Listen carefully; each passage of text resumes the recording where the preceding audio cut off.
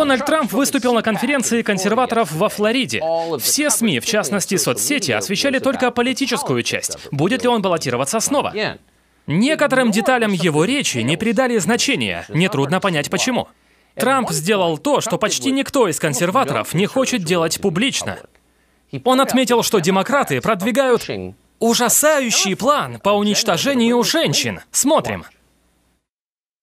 Джо Байден и демократы продвигают политику уничтожения женского спорта. Молодые девушки и женщины в ярости, ведь теперь их заставляют состязаться с теми, кто биологически относится к мужчинам. Это удар по женщинам, спортсменам, которые так долго и тяжело работали, чтобы добиться успеха. Если ничего не делать, женский спорт, каким мы его знаем, умрет. Его просто не будет. Это правда. И не просто женского спорта, но и женщин как группы. Смогут ли женщины существовать в каком-либо значимом биологическом ключе? После этого? Это хороший вопрос. Но Байден подписал указ, который обязывает женщин-спортсменов состязаться с мужчинами. Затем Сенат одобрил законопроект о равенстве, который по-новому определяет понятие пола. По сути, упраздняет его, понятия пола больше нет.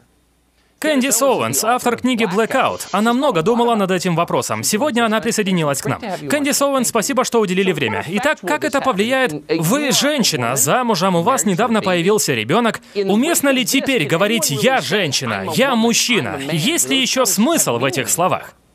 О, вас назовут фанатиком, как и меня, злобным фанатиком, трансфобом. Знаете, левые любят использовать все эти ругательства, когда вы следуете здравому смыслу.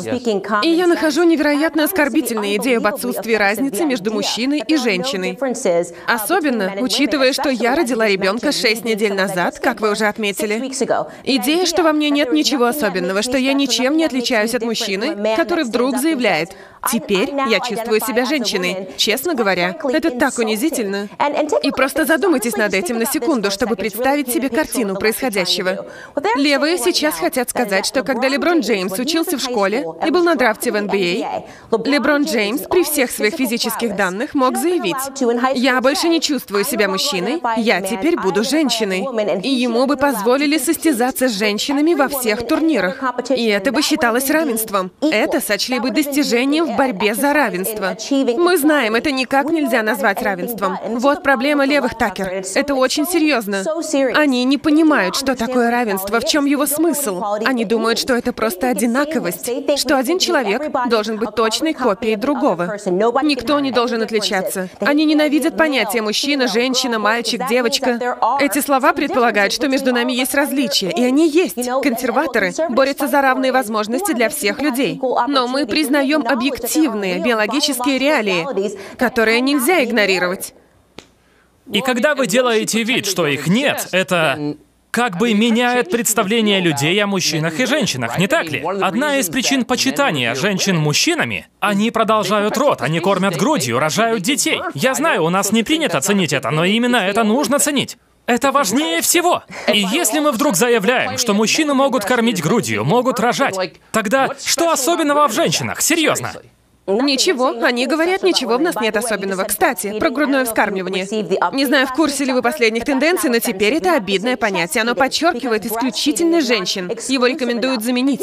И вот что я нахожу забавным. Они продолжают называть нас трансфобами. Но вспомните, например, Рэйчел Долизел. Левые так обозлились на нее, потому что она за неимением лучшего термина расовый транс, не так ли? Белая женщина, которая в один прекрасный день решила, что отныне будет выдавать себя за черную.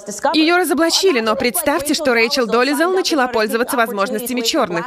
Добилась академического успеха, получила стипендию для черных. Разве это не привело бы левых в абсолютное бешенство? Потому что она считала себя черной, потому что однажды утром решила ей стать. Почему к женщинам не применяют те же стандарты? Почему они позволяют уничтожать женщин? Они говорят, что мы должны бояться Трампа и его администрацию, потому что он так опасен для женщин. Но посмотрите, что сделал Джо Байден за две недели президента президентства. Вот о чем нужно беспокоиться. Это такое очевидное безумие периода поздней империи. Будущие поколения будут смеяться над нами. Им будет трудно поверить, что такое имело место, и только потому, что все мы с этим мирились, но не вы. И я благодарен вам за вашу честность. Поздравляю вас с рождением сына. Большое спасибо. Кэнди Соуэнс, спасибо, что были с нами.